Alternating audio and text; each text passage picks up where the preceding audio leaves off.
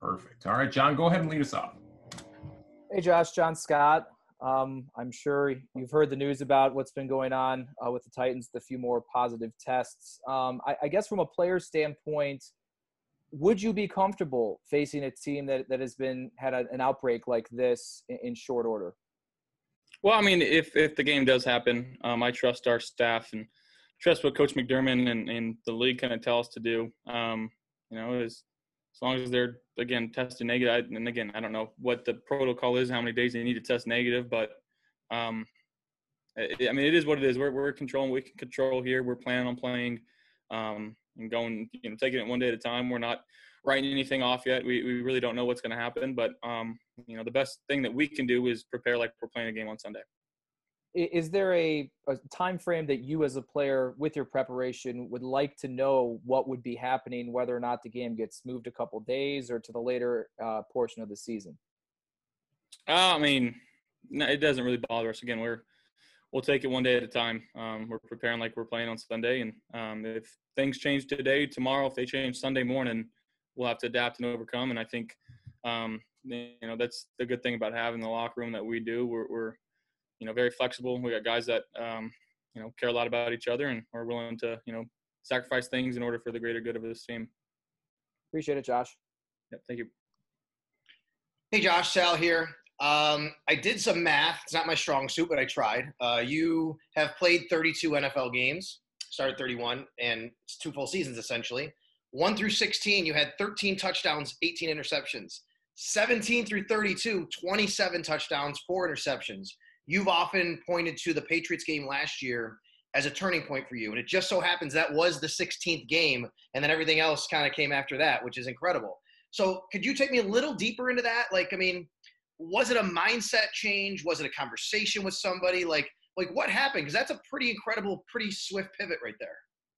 Well, I think it was a mind mindset change for sure. And um, you know, after that game, I had numerous talks with you know Daboll, McDermott, and Beane, and um, I, I, made a vow to them, um, and I'll keep that in house. But you know that I, would be a better quarterback and um, do things you know the right way. And um, again, I, I, this isn't just me doing it though. It's it's been a small army between Daboll and Dorsey and, and the front office bringing the guys that they've brought in and in the off season, you know, working with Jordan Palmer and having guys like Sam and Kyle to compete with, uh, uh, you know, on the field. And, um, you know, it's, it's been a long process, obviously. And I still got a long way to go. There's no, no way in, in, you know, no way that I'm saying I'm, I'm arrived or I'm there. And, um, I, I, you know, I know I continue to work on stuff and, uh, keep finding ways where I can try to be the best quarterback, the best teammate I can be for the Bills. Is that mindset, Josh? Is that something you're always cognizant of, or do you think you're kind of past that and it's just more of habit and routine now? Um, I mean, I, I still got to remind myself, you know, there's, you know, the hero ball, some say, um, something I got to continue to work on. And I think I've been better with it this year. Uh, but still a couple plays here or there that, you know, I get carried away and you know, the gunslinger comes out. But um, just, just being smart with football. I mean, playing, playing situational football. And again, that's kudos to Coach McDermott. You know, in our team meetings, uh, that's that's the majority of what he preaches to this team and showing us different situations and how we're supposed to handle them in, in turn helps us win football games. So um, just kind of doing what I'm told. Thanks, Josh. Hey, Josh, John Worrell, AP. How you doing? Good, good, John. Good to see you. Good seeing you. Just, um, just I, I know there are controllables and things that you can control, but when it comes to COVID – and when it comes to playing another team and being on the field with another team, there are no controllables in how that other team controls its uh, situation in that way. What level of trust and what level of comfort do you have in be- believing that this team, your team, and you can be safe being on that field, knowing that the Titans have had positive tests four days away from the game? Um, I mean, I, I can't 100% answer that with a uh, you know clear and reasonable thought process other than you know we're we're taking it one day at a time here and we're trusting each other here and we're holding each other accountable here. Um, now in turns for the other 31 teams um, again we, we've got no say in that and um, you know we're we're masking up in our facility. We're making sure we're following the right protocols. Um, and that's you know again that's from the top down and that's just kind of what has been set before us, and uh, we've been doing a good job of you know holding each other accountable. And uh, it's, it's good to see. And, um, you know, we, we got to trust the other 31 teams to do so as well. How different is this season? And I'm just saying that, um, you, you know, Sean McDermott talked about how even we're not perfect. No one is perfect in this situation. It just takes one slip up to have something break out. You guys have encountered this back in training camp um, with false positives, and then when when when camp was shut down briefly. But how different is this, and and how much do players have to keep adapting? Um, because it's so easy for things to have a sudden change. Yeah, and again, it, it takes one guy to go to the grocery store and it, it's simple as that sometimes and um, you don't ever suspect anybody to have it the facility but you've got to hope that guys are wearing their masks the contact tracers are working. Um, if guys are feeling down and they're not feeling right like we had you know um, you know player wasn't feeling great today and he told everybody and uh, you know he was good to go. But um, just like holding each other accountable to that standard where if you, you are feeling something tell somebody. Um, make sure that you're getting out in front of it. And um, again, that's uh, that that's one of the great reasons um, we've been okay with what's going on right now because we are accountable and, and we trust the guys in this locker room to, you know, do the right thing. Thanks very much, Josh.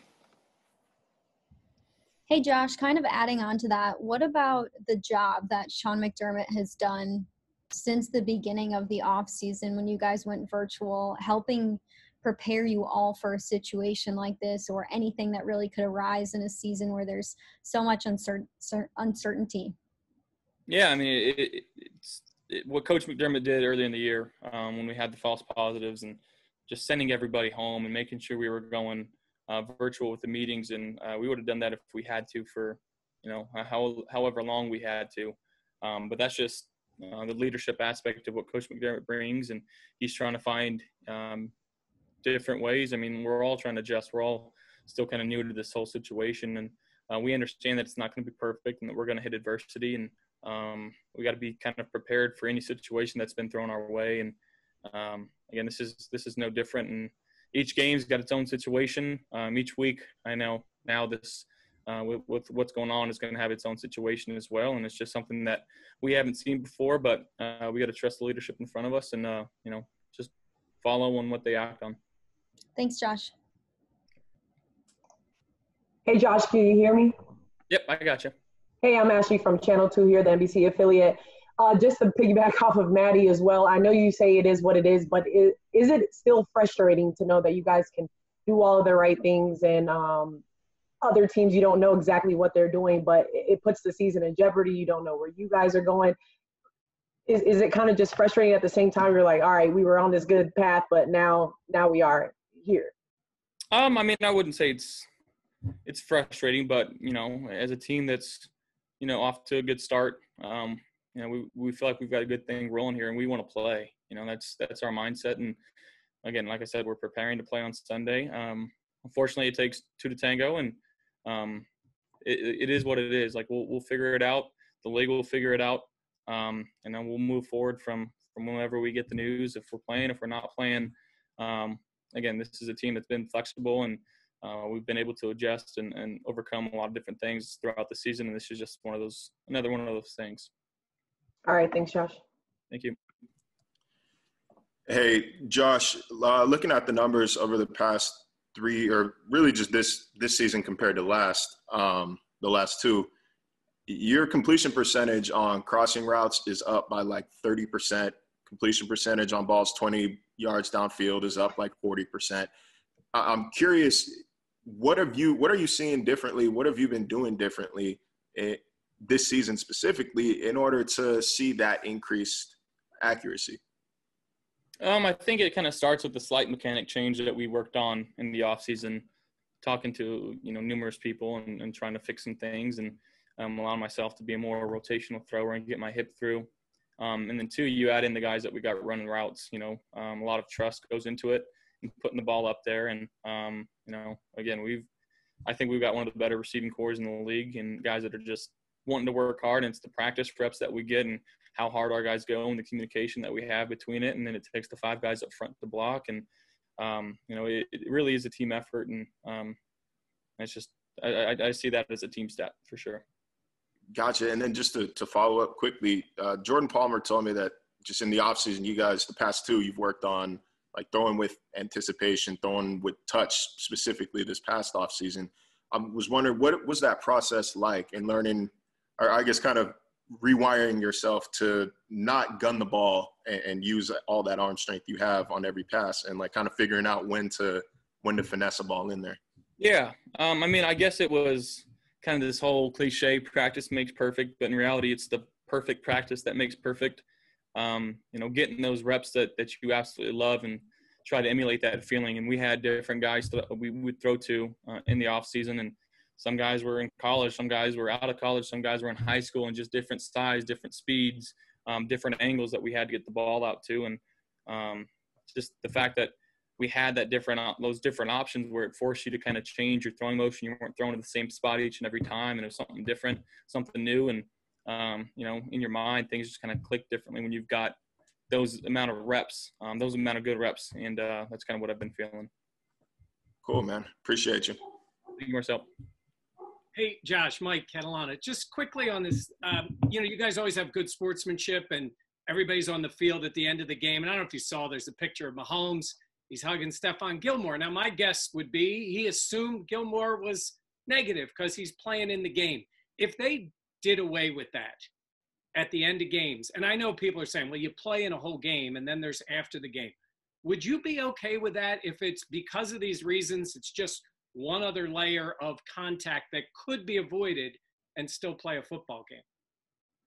Yeah, I mean, it's it's all about you know limiting the amount that you can be exposed to, and I understand that. And you know, it was kind of one of those things when we first got here, um, and we had the lockers spaced out, and everybody's like, "Well, like, why why are we doing this? Like, we're in the same building, we practice, we go out there and do this." But you know, the fact that guys played a game against like I think it was the Minnesota game, the Tennessee game, whatever it is, and this team had it and this team ended up not having it. And it could have been as simple as they just weren't exposed to that much. And if you limit that exposure, I think it gives you a better chance of kind of staying clear of it. So I'm, you know, whatever way we go, I'm for it. Um, you know, I know guys want to go and see each other, and you got some boys on the other side of the team, and you want to say what's up. But um, at the end of the day, you know, availability is the best ability. So um, I guess that kind of takes precedent over everything else.